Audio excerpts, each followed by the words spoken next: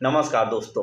दोस्तों, सन 2023 तो बॉलीवुड के लिए वाकई में बहुत ही शानदार रहा और इस साल मूवियों ने एक एक हज़ार करोड़ की कमाई भी करी। लेकिन अगर हम सन 2024 की बात करें तो सन 2024 में देखा जाए, ज़्यादा ऐसी मूवियाँ नहीं रिलीज़ हो रही हैं कि जो कलेक्शन के मामले में तबाही मचा सके। अगर हम बात करें सन 2024 की तो चार से पाँच ही ऐसी मूवी हैं जो शायद एक हज़ार करोड़ का आंकड़ा छू सकती हैं कलेक्शन के मामले में, और उन्हीं मूवियों में से एक है फाइटर देखा जाए दोस्तों फाइटर मूवी के ट्रेलर का लोग बड़ी बेसब्री से इंतज़ार कर रहे हैं, जिसके ट्रेलर को लेकर के ऑफिशियल डेट अनाउंसमेंट कर दी गई है। तो चलिए बात कर लेते हैं हम फाइटर मूवी के ट्रेलर के बारे में, और उसी के साथ चर्चा कर लेंगे कि आखिर सन 2024 में कौन कौन से ऐसी मूवी हैं जो कलेक्शन के मामले में रिकॉर्ड बना सकती हैं? लेकिन उससे पहले अगर आपको मेरा वीडियो पसंद आ जाए तो वीडियो को लाइक कर लीजिएगा चैनल को सब्सक्राइब कर लीजिएगा। देखा जाए दोस्तों, अगर सन 2024 की बात करें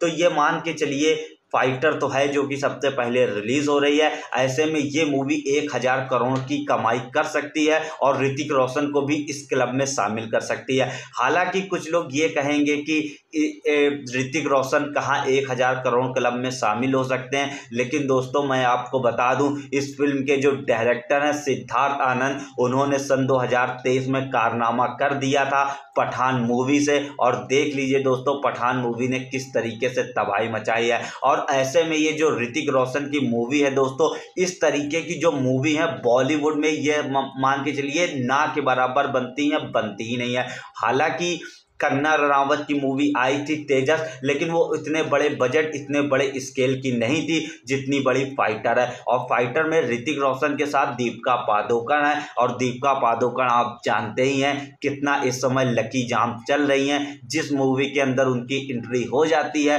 तो वो मूवी सुपर डुपर हिट हो ही जाती है। अगर दोस्तों दीपिका पादुकोण की इस एंट्री से मूवी सुपर डुपर हिट हो सकती है तो सिद्धार्थ आनंद भी इस मूवी को एक हज़ार करोड़ का आंकड़ा तो छुआ ही सकते हैं। अब देखने वाली बात ये होगी कि क्या ये आने वाले समय में पठान की तरीके कलेक्शन कर पाएगी कि नहीं। वहीं दोस्तों, अगर हम इसके ट्रेलर के बारे में आपसे बात करें तो इसी फ़िल्म के डायरेक्टर सिद्धार्थ आनंद ने अपने ट्विटर हैंडल पर एक पोस्ट डाला है, पाँच जनवरी फाइटर। इसका तो मतलब हम लोगों ने तो निकाल ही लिया है कि ज़ाहिर सी बात है, पाँच जनवरी को इस मूवी का ट्रेलर रिलीज़ हो रहा है।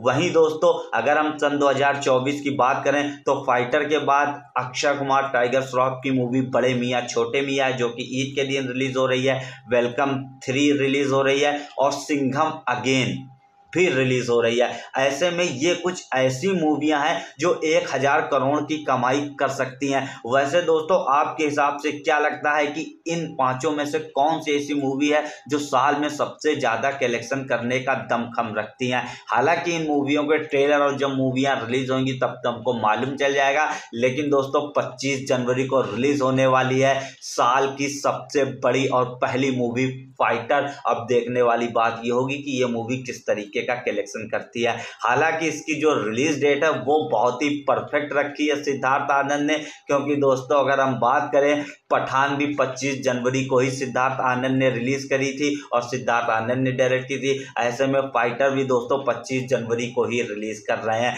तो ऐसे में जो 25 जनवरी वाला सिद्धार्थ आनंद का तुक्का है, क्या उनका साथ दे पाएगा कि नहीं? हालाँकि ट्रेलर को देख के तो हम लोगों को मालूम ही चल जाएगा कि इस मूवी का स्केल कितना बड़ा है। फ़िलहाल तो टीजर में तो हम लोग समझ गए थे कि इस मूवी में ज़बरदस्त एक्शन होने वाले हैं और सिद्धार्थ आनंद तो आपको मालूम है कि एक्शन के मामले में कितने ज़बरदस्त हैं और हवा में जब वो एक्शन करके दिखाते हैं तो लोगों की तबीयत खुश कर देते हैं। एग्ज़ाम्पल हम लोग पठान में देख ही चुके हैं किस तरीके से शाहरुख और सलमान की हेलीकॉप्टर वाले सीन हुए थे। और देखा जाए, फाइटर के भी टीजर में हम लोगों ने देख लिया था किस तरीके से हम लोगों को ज़बरदस्त एक्शन सीन देखने को मिले थे। ऐसे में दोस्तों, फाइटर मूवी से ये तो हमको मालूम है कि हम लोगों ने ज़मीनी लड़ाई बहुत सी देखी है। इस बार फाइटर मूवी से हम लोग आसमानी लड़ाई भी देखने वाले हैं। यानी कि आसमान से लेकर के ज़मीन तक होने वाला है सब कुछ तहस नहस। इंतज़ार है तो इसके अब ट्रेलर का, जो कि पाँच जनवरी को रिलीज़ होने वाला है, ऐसे में ऋतिक रोशन के जो फैंस होंगे, वो काफ़ी ज़्यादा उम्मीदें लगाए होंगे। वैसे दोस्तों, आपको क्या लगता है, क्या फाइटर मूवी कर पाएगी एक हज़ार करोड़ का आंकड़ा? कमेंट में बताइए, और वीडियो पसंद आए, वीडियो को लाइक करिए, चैनल को सब्सक्राइब करिए। मिलते हैं हम आपसे अगली वीडियो में, तब तक के लिए नमस्कार, बाय बाय।